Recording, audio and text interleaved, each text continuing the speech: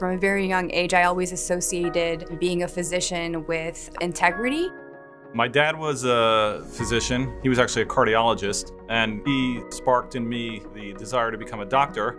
I liked being in the operating room, working with my hands, but I didn't necessarily want to go down the surgical route.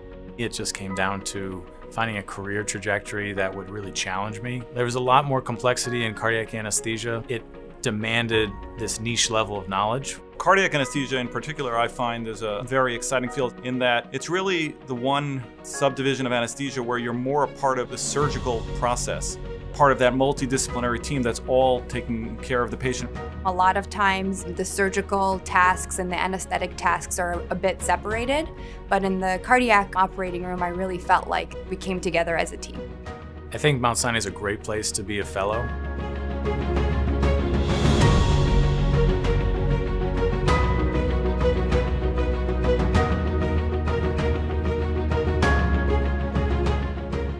To go back and think about what I wanted from a fellowship. It was a very well-rounded experience to be thrown into the fire with a wide variety of cases.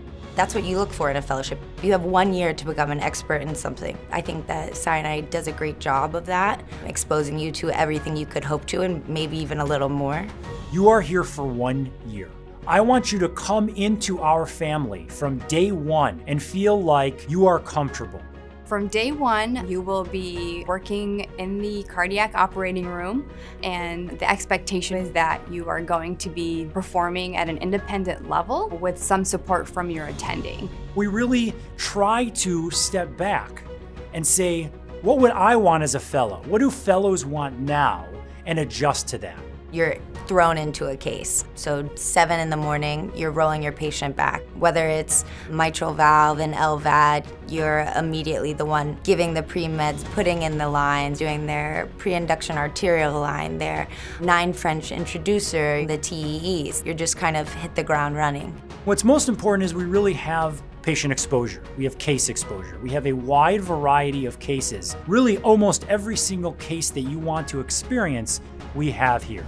There's only a few places maybe in the world that do the level and complexity with consistency that we do. You're getting a lot of heart failure, a lot of high-risk CABG patients, a lot of high-risk TAVR and structural heart cases, mitral valve disease, and other valvular repair we have one of the most robust atrial fibrillation EP labs in this part of the country.